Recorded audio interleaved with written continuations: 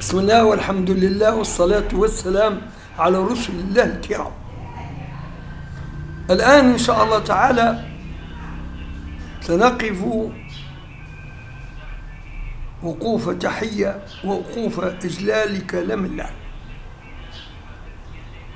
ونخص في جولتنا هذه الآية 141 من سورة البقرة.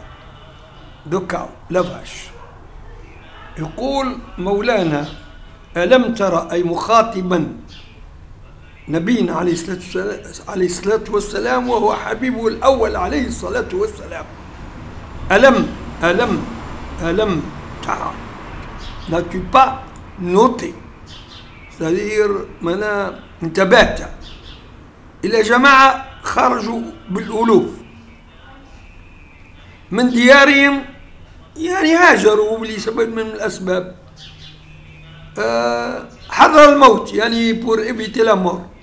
Pour fuir euh, une fin, une fin euh, violente une fin subite. يقول مولانا ألم تر إلى الذين خرجوا من ديارهم وهم ألوف حضر الموت؟ هذوما ناس أما أطردوا وإلا رفضوا أن يجاهدوا في سبيل الله لكي تبقى أراضيهم ملا هي أراضي يعيشون فيها ويعملون وينامون ويتنزهون. ألم تر إلى الذين خرجوا من ديارهم وهم ألوف حذر الموت.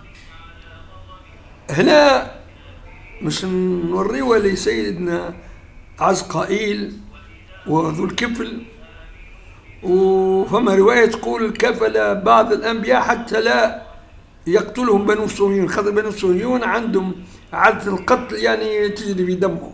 وأنا نراو فيها على التو الأيام هذه هي مناسبة باش نجبدوا القصة هذه اللي هي محصورة في آية فقط.